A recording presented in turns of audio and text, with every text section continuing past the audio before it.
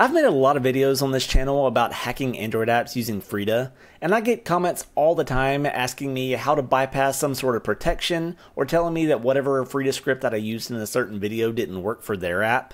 And I wish I could just give you a cookie cutter solution for every app that you might work with, but unfortunately it just doesn't work like that. In a lot of cases, those generic Frida scripts that you can find online just won't work with the app that you're working with, and you might have to do some sort of reverse engineering or come up with your own custom Frida script in order to bypass whatever you're trying to do. So in this video, I'm going to show you an example of how you can use JADX to inspect the source code of the application, and then use that source code in order to build your own custom Frida script. And once again, I'm going to be using the AndroGoat app, which I've used several times on this channel as my example. And this time I'm actually going to be using the emulator detection check as my example that I'm going to be trying to bypass. There are probably several different ways you can go about bypassing this check. There may even be a generic script you can find on the Frida code share that would do it for you. I just thought that this would be a nice simple example I could use to show how you can come up with a custom Frida script all on your own. And before I get started, just for awareness, this device that I'm using is an Android Studio emulator and it is rooted and it also has the Frida server installed on it. If you want to know how to set any of that stuff up, I have videos on my channel to show you how to set up an Android Studio emulator, how to root that emulator, and how to set up Frida on it. But all that being said, let's go ahead and get started. First, just to make sure we understand what we're doing here, we have this check that has a button that says check emulator. If I click on it, down at the bottom, it says this is emulator. Our goal is to trick it so it doesn't realize that it's in an emulator and then it says it's not an emulator. The first thing I want to do is open up the APK with JADX and see if I can figure out where that source code that is doing that check is and see if I can understand how it works. And just as a bit of a shortcut, I'm just going to search for the text field emulator and see what comes up from that, just so I can kind of jump to wherever that code is. And we see right here is an emulator detection activity. That's probably what we're looking for, so I'm just going to double click on that. And now if we scroll down to on create right here, we see that text that says this is emulator, which we saw when we clicked that button. And we want to get that to where it prints out this is not emulator instead.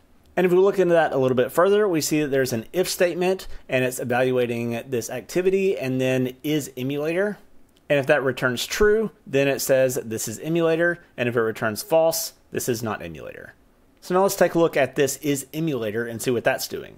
So it looks like this is building a fingerprint of the device and looking at all like the specs and everything from the emulator. And then it's searching through that string that it builds from the fingerprint and it's looking for some keywords like emulator and VBox and Genymotion, which is another third party Android emulator. So it's basically just looking through all that information from the fingerprint of the device and it's trying to find those keywords that would tip off that it might be an emulator.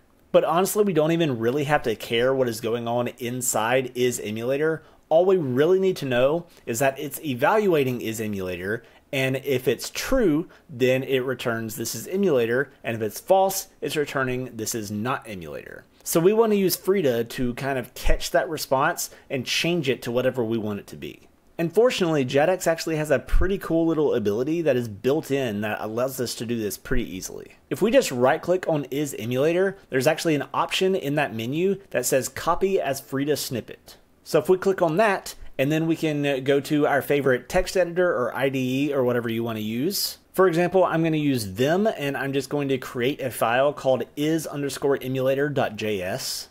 And then I'm going to paste that snippet that we just copied from JADX. We do have to add just a little bit to this script to make it work.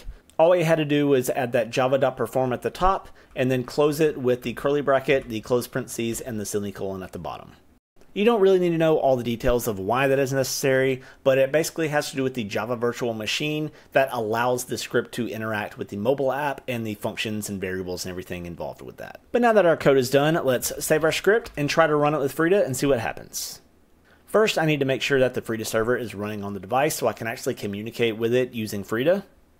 And now just to verify that Frida is working and also so I can get the package name of my application, I'm going to run this smoke test with Frida-ps capital U lowercase ia.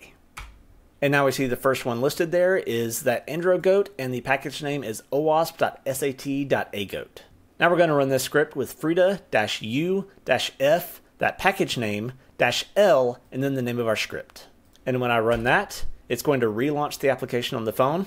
And now if I go to our emulator detection and click on check emulator, it still says this is emulator. But we can see in the logs here, it says emulator is called, and then it says the result equals true. And if we look at our script one more time, we see that right here is that log where it says emulator detection activity is emulator is called, and we saw that when we ran the script.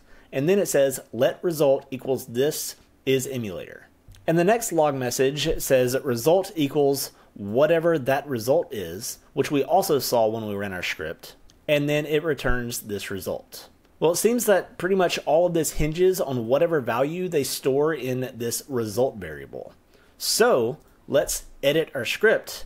And instead of saying let result equals this is emulator, instead, I'm just going to say let result equals false because we want this result to be false because we want the app to think that we are not an emulator. So once again, if I save that script and I run that script again, once again, it relaunches the application. And again, I click on emulator detection and click on the check emulator button. This is not emulator. And we see in the logs here that is emulator is called, is emulator result equals false. So once again, this was a very simple example. This was just a test sample application. And in the real world, you would have to probably do a lot more reverse engineering to figure out exactly what you need to change in your script and maybe obfuscate it and have all kinds of other things involved that you would have to parse through. But I just wanted to use this little example to show how you can use whatever source code you're looking through in JADX to pretty easily take that source code from JADX and translate that into a custom Frida script that you can then run and interact with an app. But anyway, I hope that was helpful. Maybe if you do run into some issue where something from the Frida code share isn't working, you might be able to use this to come up with your own custom solution. But that's going to be it for this video. I hope I'll see you in the next one.